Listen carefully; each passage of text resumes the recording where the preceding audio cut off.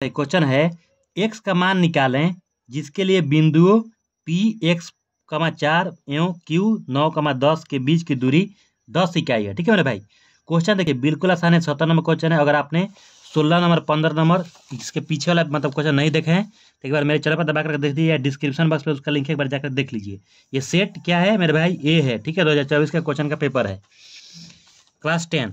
सबसे पहले देखिए इस क्वेश्चन को बनाने के लिए सबसे पहले हम क्या करेंगे जो क्वेश्चन में दिया है, पहले उसको लिखेंगे। तो सबसे पहले मेरे भाई पी से क्यू पी से क्यू की बीच की दूरी कितना दे दिया है? दस दे दिया है। क्योंकि इसका ऐसा ही मात्रक यूनिट नहीं होता है जिसकी वजह से यूनिट नहीं दिया ठीक है? ये दस पी क्यू बीच की दूरी है, दे दिया हुआ है। बताओ, अगर यहाँ सेंटीमीटर दिया रहता तो यहाँ लिखते नहीं कि नहीं दिया ठीक है? और क्वेश्चन में पी बराबर दिया है कितना? एक्स कमा चार। और यहाँ पर क्यू बराबर आपको दिया है। कितना? नौ कमा दस। ठीक है मेरे भाई? तो सबसे पहले क्या करेंगे मेरे बनाने के लिए? सबसे पहले यहाँ मानेंगे। इसको मानेंगे एक्स वन इसको वाई वन और इसको एक्स टू और इसको वाई टू ठीक है? और ये बीच की दूरी हुई। क्वेश्चन में बीच की दूरी यहाँ पर दस दे दिया है। ठीक है? तो फार्मूला पी क्यू दूरी सूत्र क्या होता है मेरे भाई? पी क्यू बराबर।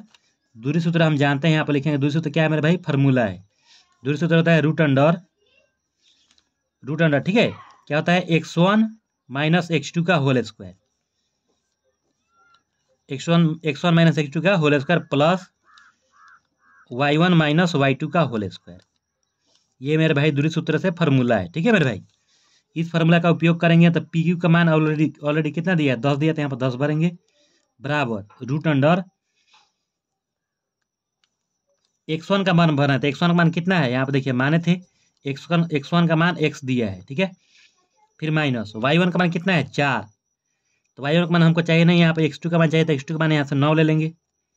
और इसका कर देंगे स्क्वायर फिर plus Y one minus Y two तो वाई वन का मान कितना है? चार। तो यहाँ पर चार माइनस वाई टू का मान कितना है? दस। तो ये दस का स्क्वायर ठीक है? तो ये हुआ दस बराबर रूट अंडर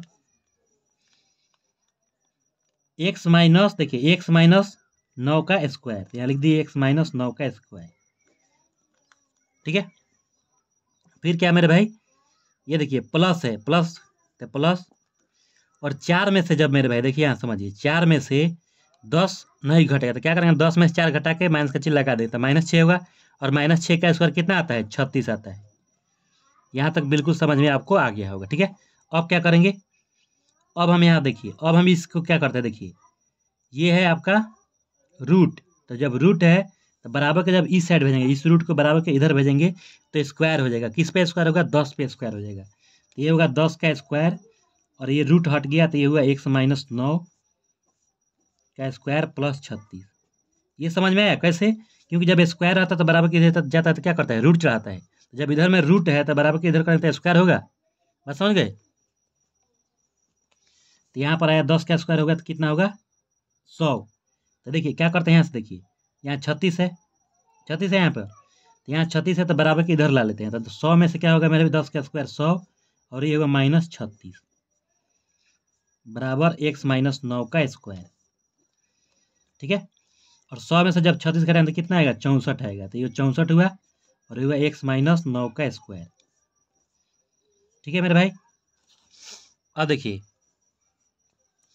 अभी देखिए स्क्वायर है तो स्क्वायर ए माइनस बी के फॉर्मूला पर टूटेगा। तो ए माइनस बी का फॉर्मूला क्या होता है? ए माइनस बी का होल स्क्वायर बराबर होता है A square minus two B plus B square तो इस पर इसको तोड़िए तो यहाँ लिखेंगे चौंसठ बराबर X square minus two formula से एक जगह पर यहाँ पर एक्स है मल्टीप्लाई बी की जगह पर नौ है। प्लस बी का स्क्वायर तो नौ का स्क्वायर करेंगे तो नौ नौ कितना होगा? इक्यासी। और इस इक्यासी को प्लस में इधर आएगा तो क्या होगा? माइनस होगा। तो यहाँ पर क्या कर लेते हैं? चौंसठ माइनस इक्यासी बराबर एक्स स्क्वायर और नौ दुनी अठारह माइनस अठारह एक्स यहाँ तक आपको बिल्कुल समझ में आया होगा। अब इक्यासी में से क्या करेंगे? चौसठ घटा के माइनस चिन्ह लगा देंगे तो ग्यारह में से चार जाएगा तो कितना बचेगा? सात। और ये हुआ सात और सात में से छः जाएगा तो एक बचेगा और माइनस में वो भी, ठीक है? तो ये हुआ एक्स स्क्वायर माइनस एक्स अब इसको सजा के द्विघात समीकरण बना लेंगे, तब हमको एक्स का मान निकल जाएगा। तो यहाँ सजा लेते हैं, क्या करते हैं? एक्स स्क्वायर माइनस अठारह एक्स और इस माइनस सत्रह को बराबर के इधर भेजते हैं? तो क्या होगा? प्लस में होगा। तो ये हुआ प्लस सत्रह और बराबर ज़ीरो। ये जब इधर चला जाए तो यहाँ पर क्या बचेगा? ज़ीरो बचेगा, ठीक है? यहाँ पर द्विघात समीकरण तैयार हो गया। अब क्या करते हैं द्विघात समीकरण को सॉल्व करने के लिए? सत्रह को देखिए, सत्रह को ऐसा तोड़ेंगे, सत्रह को ऐसा भी मतलब गुणनखंड करना है कि यहाँ पर माइनस अठारह आना चाहिए, ठीक है? घटाने पर माइनस के साथ और गुणा करने पर सत्रह आना चाहिए। तो कैसे करेंगे? एक्स स्क्वायर करके माइनस यहाँ कर देते हैं सत्रह एक्स, ठीक है? फिर माइनस एक्स प्लस सत्रह, बराबर ज़ीरो। अब यहाँ क्या, कैसे किए मेरे भाई? देखिए, माइनस सत्रह है, ठीक है? और ये माइनस एक्स है तो माइनस सत्रह में जब माइनस एक्स जुट जाएगा तो माइनस अठारह एक्स हो जाएगा, ठीक है? अब दो दो को ब्रैकेट में घेर लेते हैं तो दोनों को ब्रैकेट में घेर लीजिए। तो एक्स एक्स स्क्वायर माइनस सत्रह एक्स, और ये माइनस जब कॉमन करें तो अंदर में जो प्लस है वो माइनस हो जाएगा। यहाँ पर लिखेंगे एक्स माइनस सत्रह बराबर ज़ीरो अब क्या करेंगे मेरे भाई? कॉमन करते हैं तो जो, दोनों में आता है वही कॉमन होगा। तो देखिए एक्स स्क्वायर में से एक्स कॉमन करें तो यहाँ पर एक्स बचेगा फिर माइनस सत्रह एक्स में से एक्स बाहर निकालते हैं सत्रह बचा।